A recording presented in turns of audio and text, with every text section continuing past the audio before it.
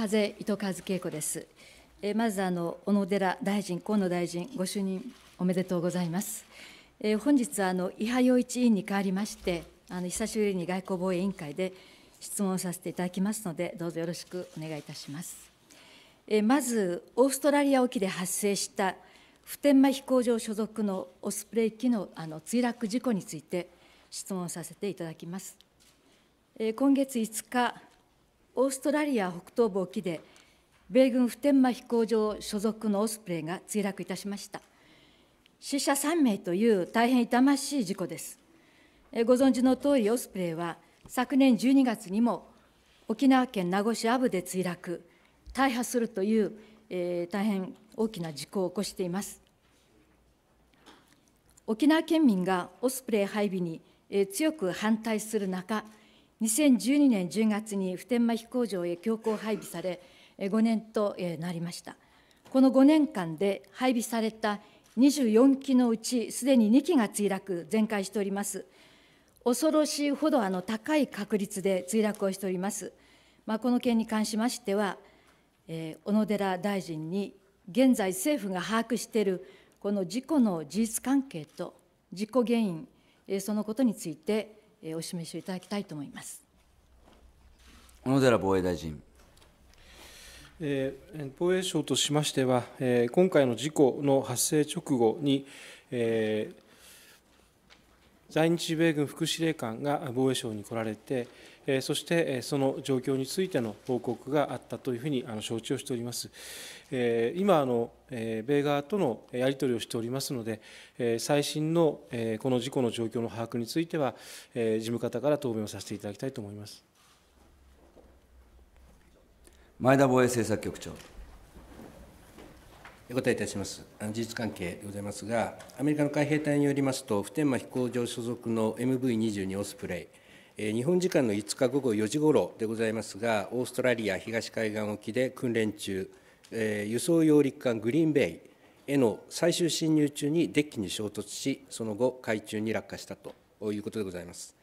乗員26名中23名は救助されましたが、大規模な捜索救助活動の結果、最終的に3名のアメリカの海兵隊員の死亡が宣告されたと、このように承知をいたしてございます。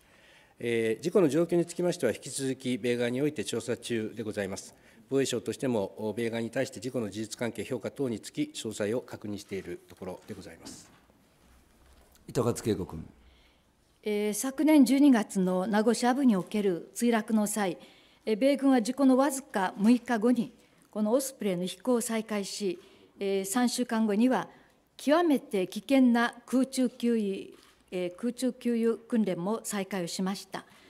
えー、当時の稲田防衛大臣、そして菅官房長官も容認しました。最終報告も出ていない中で、なぜオスプレイの飛行再開を認めたんでしょうか。具体的にどのような安全性を確認されたのか、小野寺大臣にお伺いいたします。宮山地方協力局長。お答え申し上げます。昨年12月のオスプレイの不時着水についてお尋ねがございました。防衛省としては、昨年12月のオスプレイの不時着水後、その飛行再開にあたって、オスプレイすべての機体に対し、飛行安全上重要な箇所の確認を行い、機体には問題がないこと、事故の原因は、空中給油中にプロペラのブレード、これは羽でございますが、給油ホースに接触したことによるものよると考えられること。引き続き空中給油については停止し、その再開は集合教育、手順の確認等が完了した後とすることといった米側の対応等を確認いたしました。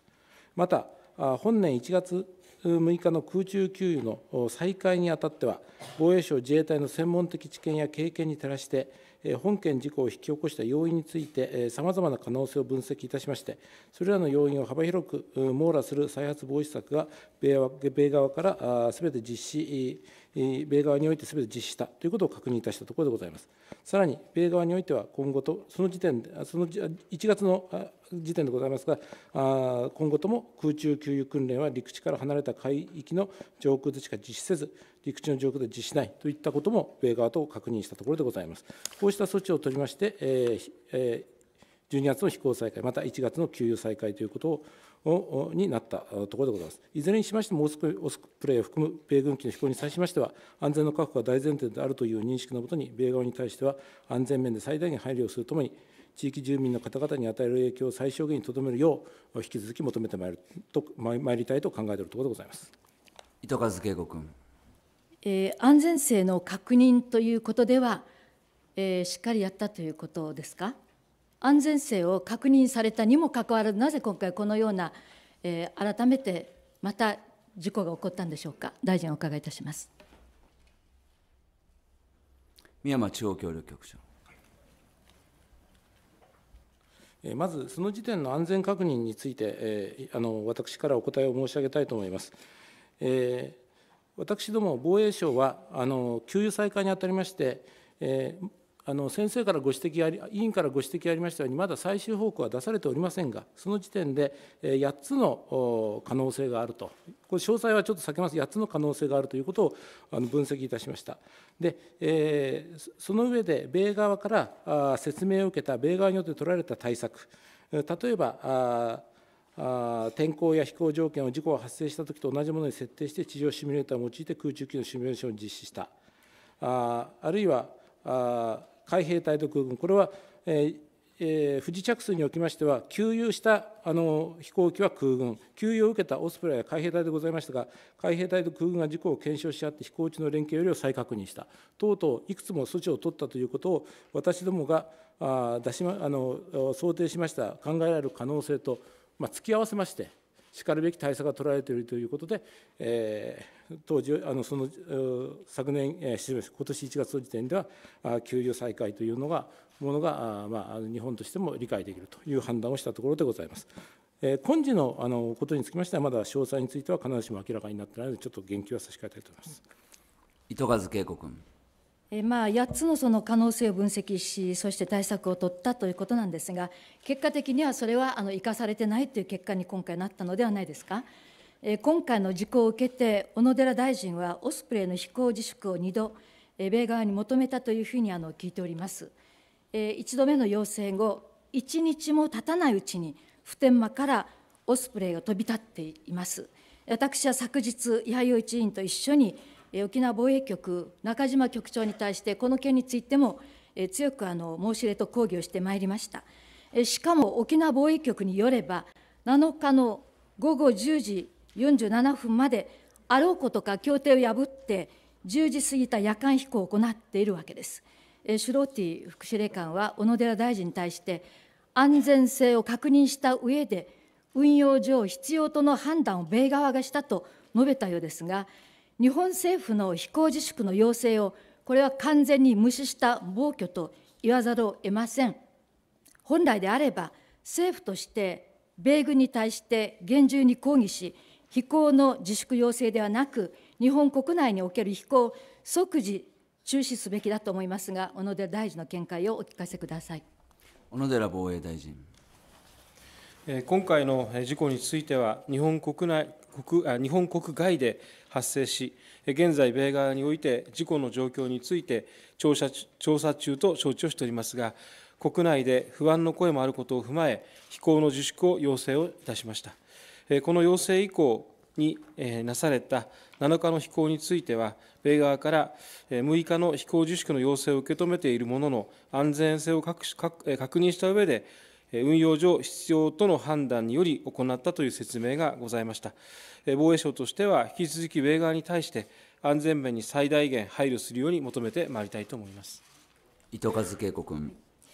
えー今回は日本国外で起こった事故ということなんですが、日本国外で起こった事故は、沖縄でも日本でも起こる可能性が十分あるわけです。えー沖縄県内でこのオスプレイの住宅地上空でのえー低空飛行、さらには夜間訓練が常態化しています。えーさらに大きな危険を伴うこの物資の吊り下げ訓練も行われております。えー実際に家屋の損害やいろんな人の被害も出ておりますが、このオスプレイの騒音や粉塵による健康被害も報告されておりまして、周辺住民住民に悪影響が出ております。政府としてどう対応されるのでしょうか、またしても効果のない周辺住民に与える影響、最小限にとどめるように申し入れるだけなのか、改めて政府の対応をお伺いします。小野寺大臣にお伺いいたします。宮山地方協力局長。えーただいまあの委員からあのお粉塵、あるいはあの家屋に対する損害というご指摘もあったところですが、あのこうしたご指摘を沖縄防衛局もですね、宜野座村の方々から受けているという報告を私も受けておるところでございます。防衛省としてはまずそうした被害につきましては、被害の実態、具体的な因果関係の把握に努めつつ、どのような対応が可能か検討してまいりたいと考えておるところでございます。また、釣り酒訓練についても指摘やご指摘がございました。あの類似ご答弁してますが、米軍は従来、その任務遂行能力を維持して、日米安全保障条約の目的を達成するために必要な訓練は、ま、行っているところでございますが、あの米軍が訓練を行うにあたっては、公共の安全に妥当な配慮を払うのは、これまた当然のことでございます。えー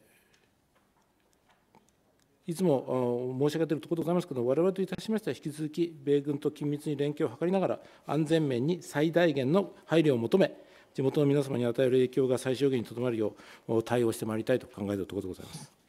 糸数恵子君。もう本当に今の答弁を聞いて、改めてショックです。え今回の事故で、あの最も衝撃だったのは、日本の防衛大臣の自粛要請も米軍は無視できるということなんです。え米軍が運用上必要と考えれば、あのいつでも飛行再開できるわけですが、これは不平等な日米地位協定があるためで、え日米地位協定がある限り、日本政府は米軍に対し無力であるということを改めて明確に示したというふうに思います。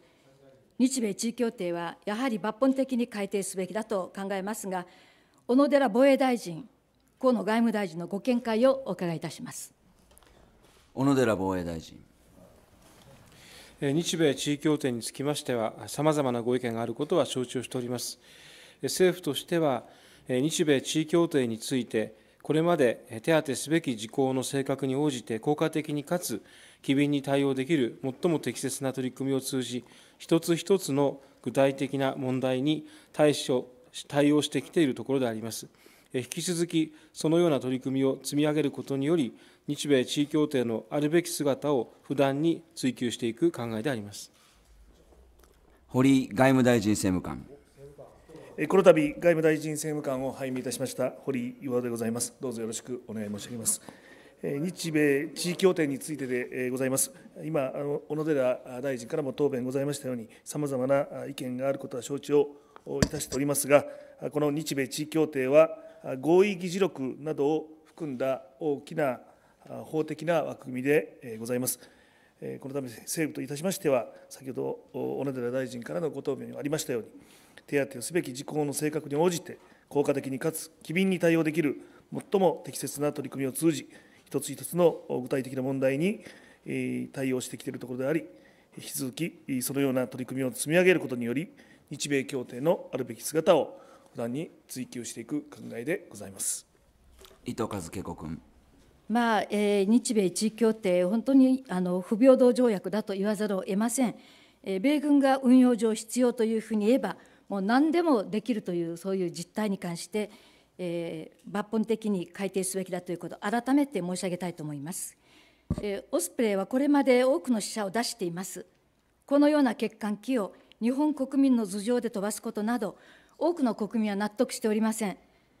政府にはオスプレイの国内での飛行中止を求めるとともに、えー予定されている自衛隊への導入についても、撤回すべきだと考えますが、小野寺大臣の見解を伺います。大臣の見解を伺います。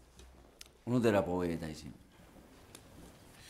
えー今回の事故につきましては、日本国外で発生し、現在、米側において事故の状況について調査中と承知をしておりますが、国内で不安の声もあることを踏まえ、まずは飛行の自粛を申し入れております。現在、防衛省においては、米側に対して事故の事実関係、評価等につき、詳細を確認しているところであり、引き続き安全面に最大限配慮するということに要請をしております。V22 オスプレイにつきましては、我が国を取り巻く安全保障環境が一層厳しさを増していることを踏まえ、陸上自衛隊の当初防衛能力当初防衛能力の強化を図るために不可欠の装備品であり、長崎県佐世保市に配備する陸水陸機動団の一体性の確保等の観点から、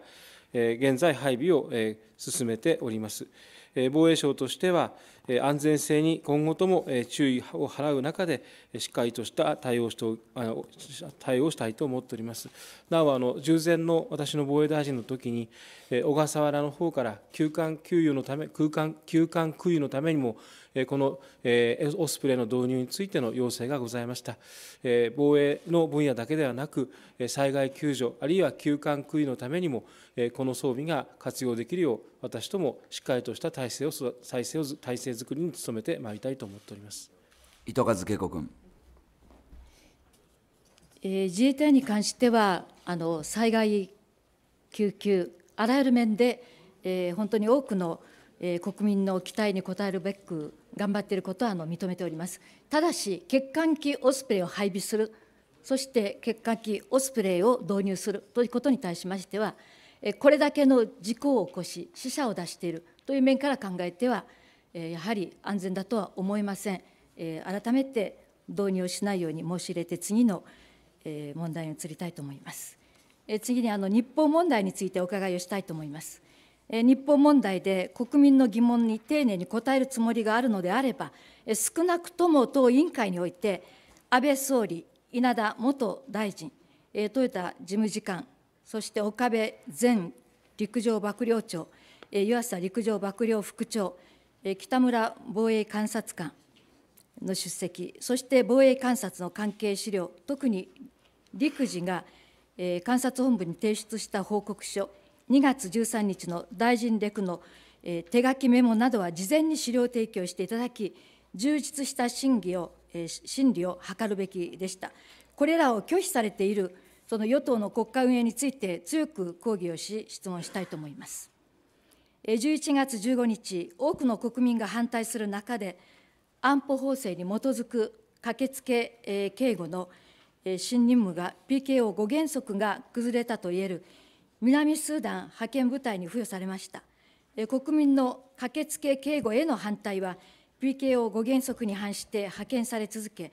駆けつけ警護という危険な任務を負わされている自衛隊員一人一人の命を守りたい、大切にしたいという感情に根ざしたものであります。安保関連法に反対するママの会の誰の子供も殺させないというスローガンもそれを表していると思います。昨年、こうした議論を行う際の最重要の資料である派遣部隊の日報が国民から隠され、国会に提供されませんでした。安倍政権は2月上旬まで都合の悪い真実を国民から隠すことに成功した。つまり、隠蔽の目的が達成されたと疑われても仕方ありません。安倍政権の根幹には、何が何でも米国の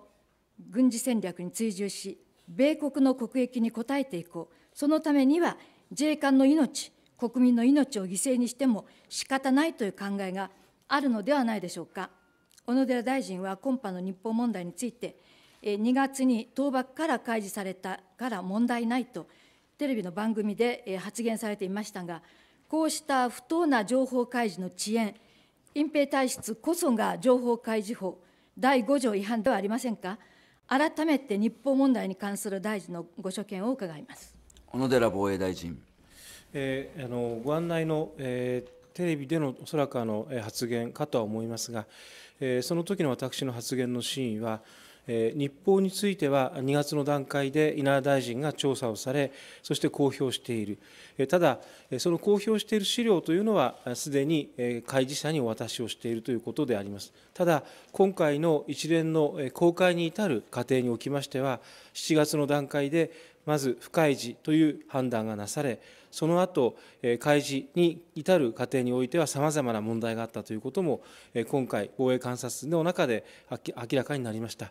この全体の流れを見る中では、やはり今回のこの日報の扱いに関しては、防衛省自衛隊として改善すべき点が多々ある、そしてまた、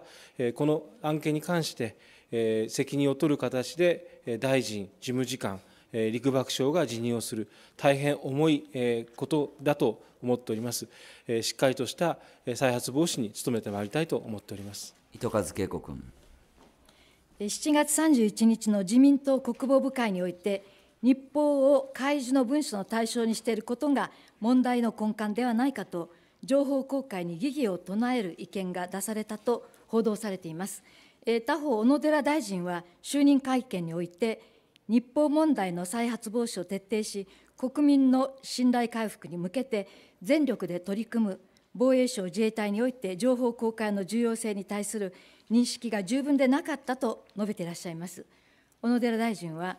え、自民党国防部会の日報を開示の文書の対象にしていることが問題の根幹ではないかというその意見について、同様の見識を持たれているのか伺います小野寺防衛大臣。私ども、えーまあ、ご指摘の点は、7月31日の自民党国防部会でのさまざまな議員の発言だと思います。私ども、少なくても今回、この一連の経緯を振り返れば、まず情報があったことを不存在と答える、本来であれば、これは存在し、そしてもし開示する内容について、不開示の内容が安全保障上適当な部分があれば、その部分だけを不開示として公開者に提供するというのが、これは正しい流れだと思っておりますし、その部会の中でも、その基本的な議論については、異論がないと私は承知をしております糸数恵子君。12月26日には、倒幕総括官は、倒幕3時間月に日報が存在していることを確認しています。にもかかわらず、稲田大臣に報告されたのは1月26日です。他方、日頃から自衛隊の最高指揮権を有していることを強調されている安倍総理は、12月26日に防衛省前田防衛政策局長および河野東幕長、1月7日と11日と19日に岡防衛政策局次長および河野東幕長、1月19日には黒江事務次官および豊田官房長、さらに1月24日に宮川情報部長、情報本部長および岡防衛政策局次長と面談されています。日報の隠蔽は自衛隊の信頼を傷つける大問題であり、最高指揮権を持つ総理に報告され、対処法が検討されたことも考えられます。仮に報告していないとしても、自衛隊内部のガバナンスのみならず、シビリアンコントロールの根幹に関わる大問題です。昨年12月26日から本年1月24日までの間に、日報の開示請求に対する対処隠蔽工作について、総理と防衛省の間で報告、検討、協議が行われたのでありませんか。仮に違うということなら、それぞれの面談の議事録をお示しいただきたいと思います簡潔にご答弁ください。高橋官房長。えー、あの防衛省から平素より緊密に総理及び官邸に報告することは当然のことと考えてございます。その一つ一つの具体的な内容についてお答えお答えすることは差し控えますが、ご指摘の面談において日本に関する報告検討協議は行っておりません。以上でございます。おまとめください。時間です。はい、えー、時間ですので終わりますが、